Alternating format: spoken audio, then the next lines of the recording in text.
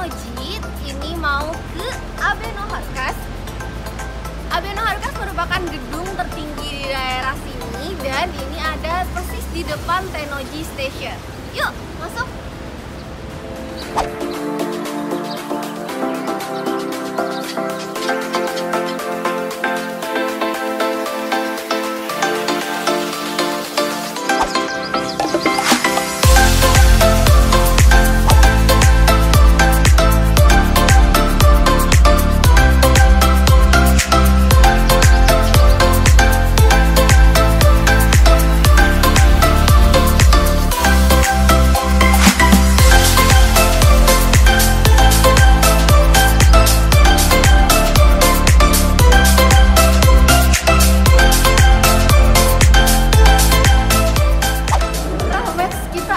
Di lantai 60 dari Abeno Harkas Torwes. Wow, ini tinggi banget dan kita liftnya itu cuman butuh 60 detik sampai ke lantai 60.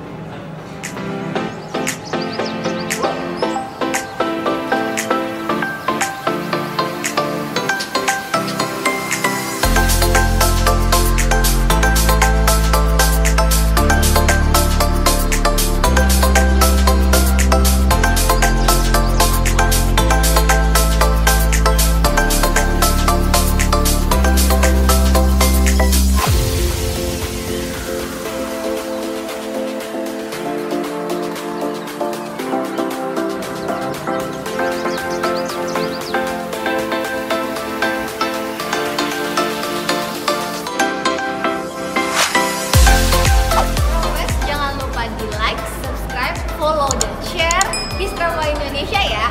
Ya Trahomes, begitulah Abeno Harkas yang ada di Tennoji Osaka Trahomes. Kalau kamu datang ke Kansai, bisa jadi salah satu destinasi pilihan kamu. Eh Trahomes, mata nih. Trahomes, masih ada rekomendasi wisata lainnya, jadi cek video selanjutnya ya. Segini,